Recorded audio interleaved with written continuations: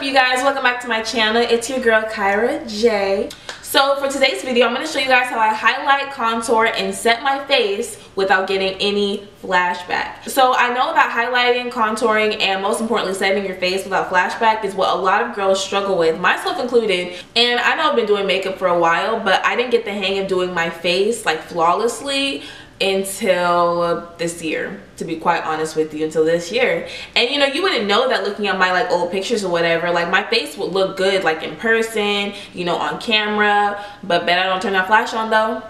Bet I don't turn that flash on though. And I mean I would have good days where my face did look good with flash but then I had some days where you know you could tell they looked a little patchy because of the setting powder. So and my goal today is to show y'all how to get that flawless face without being scared of flash. We not we we moving forward from today, we're not scared of flash no more. Take a picture of me with flash on. I'm not scared because I know my face, I know my face flawless, okay? That's the kind of energy we finna have after today's video, okay?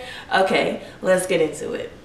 Okay, so I did my brows off camera just so I can save some time and now it's time for our face. I do not typically wear primer, but that's because I always do my makeup just to take it right off because I do it for work, I do it for YouTube, I do it for Instagram. I never really do it to go out. Um, but for you, if you're going out somewhere, use some primer. So for today's video, I am going to put on some primer um, and I'm going to be using the POREfessional Primer by Benefit. And when I am using primer, I really just focus it um, where my pores are and like in my T-zone area because those are the areas that get oily and also because I like to just make sure that my pore you can't see my pores at all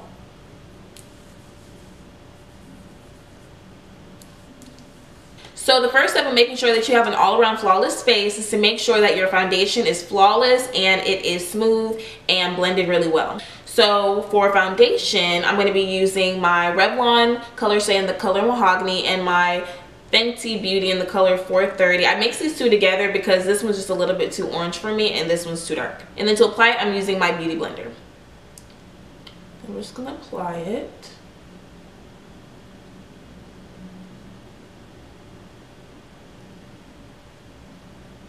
And I'm just stippling and blending.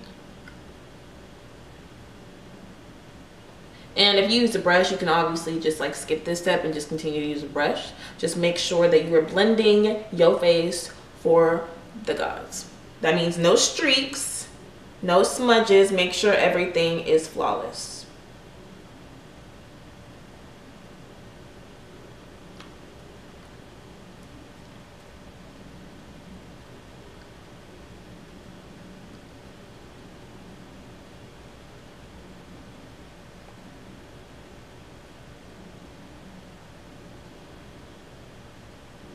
Okay, so now that our foundation's on, we're gonna move on to concealer. And I'm gonna be using my Born This Way concealer in the color Chestnut. So I do suggest getting a concealer that's just a few shades lighter than your skin color. I think that they're a lot easier to blend, especially if you're a beginner or if you just like more natural looks. However, if you are dark skin or you have a richer complexion, you can still use light concealers and make them work for your skin color. Now, I'm not gonna cover that today, but I promise to do a video on it because I live for a bright highlight and I really learned how to make the light concealers work for my skin color. So stay tuned for that. But for today, we're just gonna go with our regular concealer, Born This Way, in the color Chestnut. So now I'm just applying my concealer. And notice I'm not going too far up. I personally like to place my concealer like right here first so that it's not too creasy when I blend it. And you can apply your concealer any kind of way you want.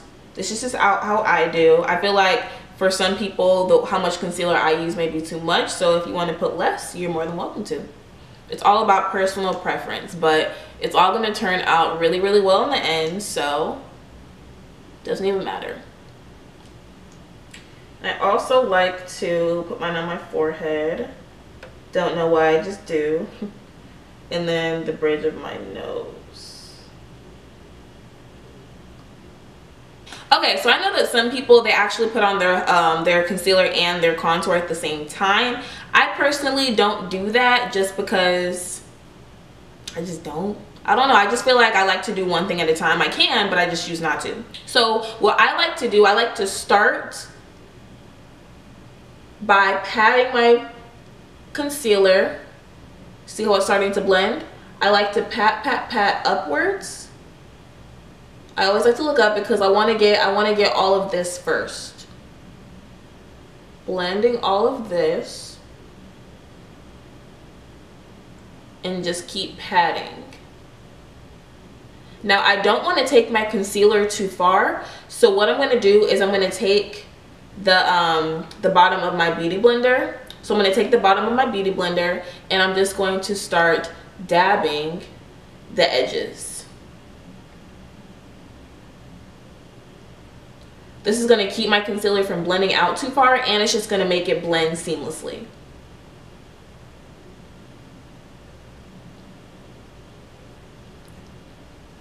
And then I like to get in here just to make sure my concealer is blended all throughout here. That's it. Let's do it to the other side. So again, we're just dabbing. And it's really just about blending, you guys. When you blend, just dab, dab, dab until it starts to blend and get seamless. And I really hope I'm doing a good job of explaining. So now we're turning it on the other side again. And just blending out the edges because we don't want it to go out too far.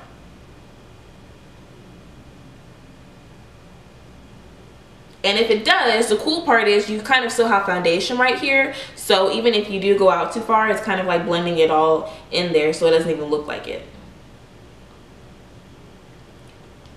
Blending here, making sure it's all blended out. And then doing the same thing with chin.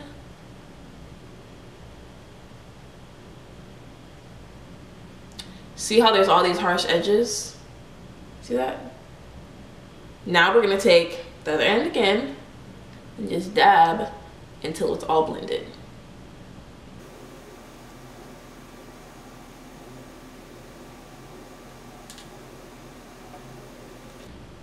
See? Blended.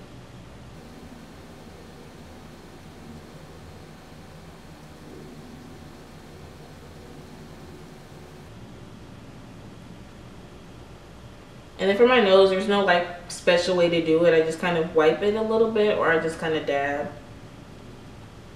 until it's blended. So so a rule of thumb for me is if I can tell where my concealer starts, then it's not blended well enough. Like you shouldn't really be able to tell where it starts. It should just be kind of gradient. You shouldn't see any harsh lines or anything like that. So just check your makeup before moving forward. Really before setting, but Okay, so now on to contour. I'm going to be using my Ben Nye Cream Foundation in the color Cocoa Bean. Is it Cocoa Bean? Coffee Bean. I really like this to contour just because I think that it makes my face so warm. Look at this color. Like, look at this color. It's so rich and pretty. Now, you don't have to use like a cream foundation or anything. You can really just use concealer to contour, but this is just what I like to use. And I just like to take my concealer brush once again, like this, and I just start putting in all the places that I want to contour. Now, I don't go down too far because you still have to blend all of this and you don't want to look crazy with your contour blended like this. You low-key gonna look like the Joker. So, so um, I just kind of stop at a certain point. Probably like right here. I think that's enough. And I always like to get my jawline. Doesn't have to be perfect because we're going to blend it anyway. Now this is all optional you guys. This is just how I do it. You don't have to do all these steps. My main goal is to show you guys how to do this flawlessly. My forehead. Gotta get that big forehead. and and then my nose. Now the nose is tricky part. It took me a while to learn how to do this and be able to do it well.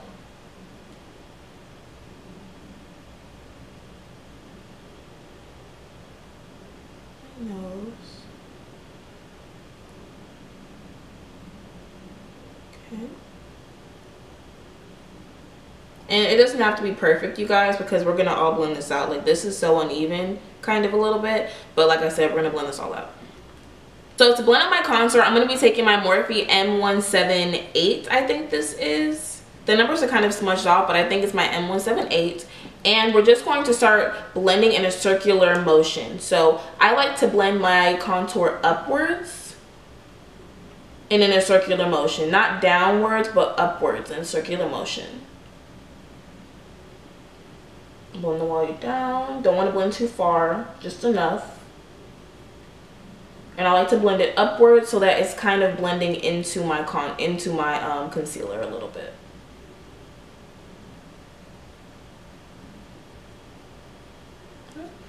And then my jawline, there's no specific way to blend this.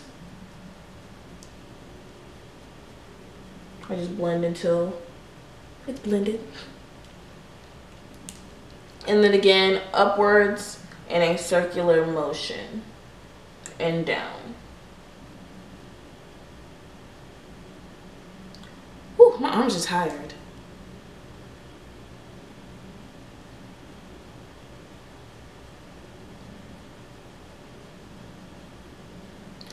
Dang, moms are tired. Take my left hand. Don't be lazy, Kyra. Okay. And then circular motions again, but it doesn't matter what direction this time.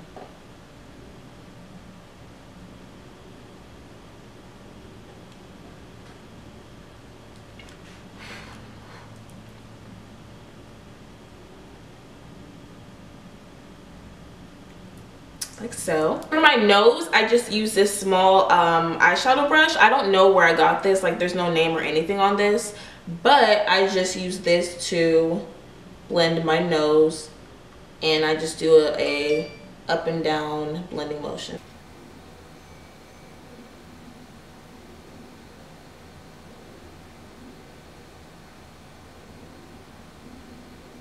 And if you closed off like the highlight part right here, you can always just add more. That's just what I do. You just want to add just a tiny bit. Boop, boop. Ooh, kind of just messed that up, but I'm to show you how to fix it. and I'm actually just to take my finger and kind of just blend get that back in there. And then just blend the sides out with my fingers.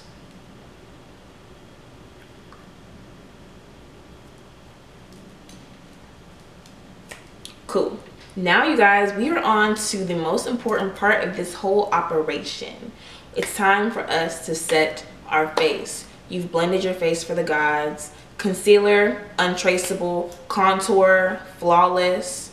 Now it's time to set it all. You ready for this? Are you ready? Now, I really want to use my Queen Cosmetics setting powder because I love this setting powder so much. I love the color. It just gives me a flawless finish every single time. But for the sake of the video, I do want to show you guys how I use a lighter setting powder and still get that flawless face. So, we're going to be using my Morphe setting powder in the color Banana Rich. Now, whenever you're setting your face, you want to make sure that you're not putting too much setting powder. So, listen. I'm not the kind of influencer who believes in baking. I feel like that has contributed a lot to my flashback and just me looking ashy. So, we not we not baking over here. We're not baking over here. We are literally just setting our face, okay? So I'm taking that same beauty blender again and I'm going to dab it in my setting powder. Now I'm going to dab off all the excess. You see all that excess? All of it.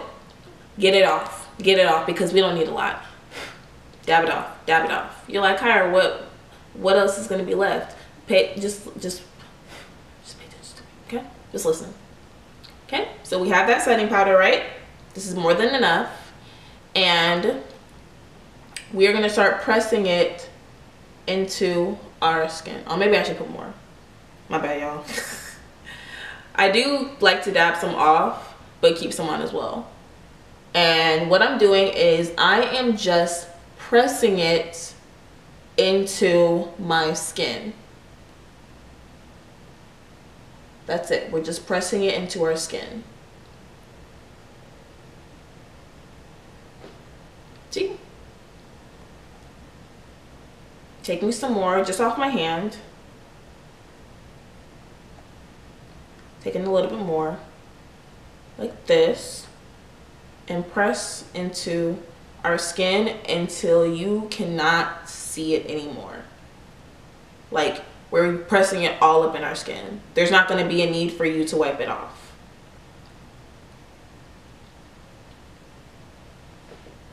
Just like that. And go on and do it to the rest of my face and you guys should watch me do that.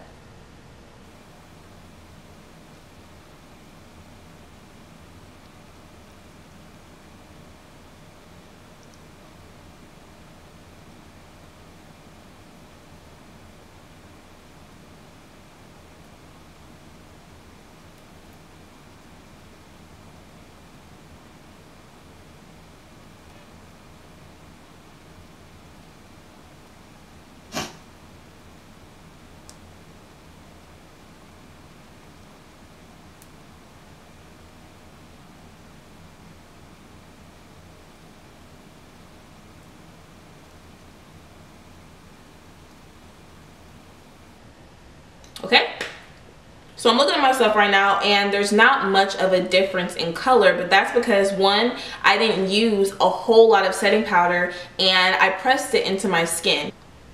Now you will have those times where you do put too much setting powder on, but literally you just keep pressing it in until you can't see it anymore. And I'm going to show you guys how I do that. I'm gonna act like I just put too much or just put like this much. Just keep pressing it in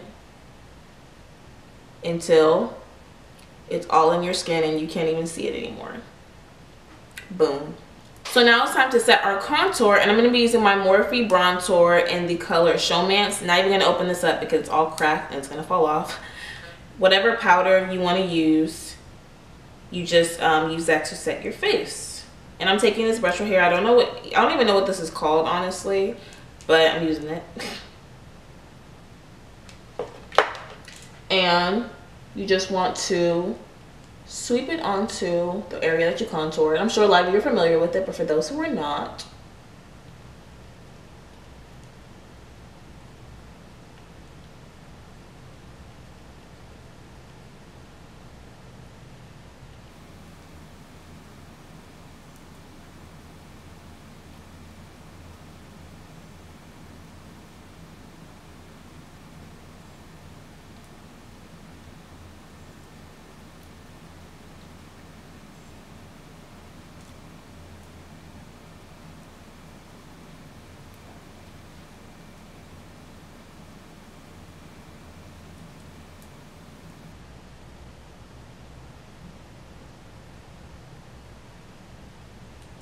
And then I'm taking that same small brush for my nose.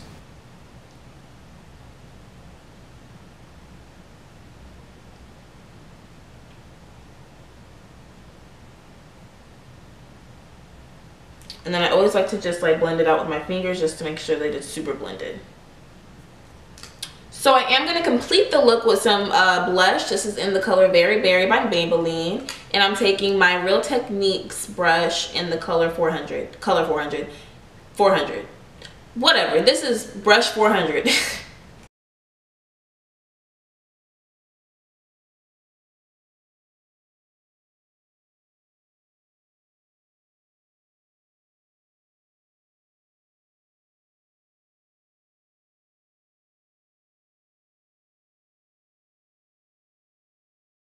Now I do like to put on my setting spray before my highlight, so I'm just going to do that right now. And I'm using my uh, Morphe Continuous Setting Spray.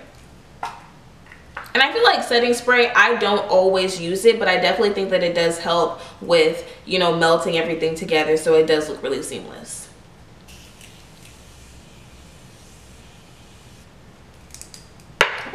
And then I take my Beauty Blender once again and I just dab the product in there. Make sure you're dabbing it in there, not just fanning it off or fanning it dry.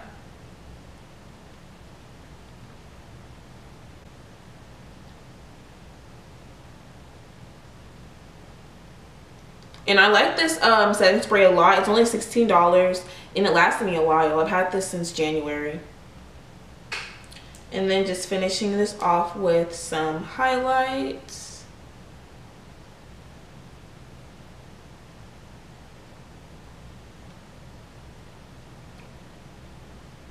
And I personally just like to focus my highlight on my nose and my cupid's bow because whenever I use highlight on my cheeks, it just always looks really patch, not patchy, but it just, I feel like my makeup looks cakey. So I like to center the highlight in the middle of my face. And I think this looks so much better.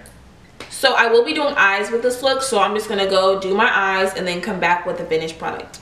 Alright you guys, so I'm back and my face is completely done. I am completely obsessed with this look, but the true test is about to be if this is flashback test approved.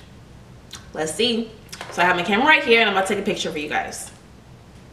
I'm to turn off one of these lights really quick because the flash with all these lights is just making my face look really bright. So hold on.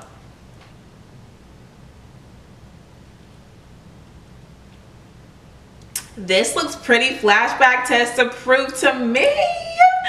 So my camera will not pick up on my phone. It won't focus it enough. So I'm to put the picture right here. And as you can see, it is flashback test approved. So that's it you guys. That is how I do my flawless full face routine. I really hope that you guys learned something from this video. It's really not as hard as it seems. It just takes a little technique and practice. And like I said, I really hope you guys learned something. That is really my goal. Like I really want to help millions of you guys improve your makeup, learn how to do your makeup, feel confident doing your makeup. And if you like this video, go ahead and like and subscribe for me. And also turn on your notification bell so you never miss one of my new uploads. I post every single week. And... Uh, yeah you guys. Again i hope that you love this video. I enjoy making it. And i will see you for the next beat. Bye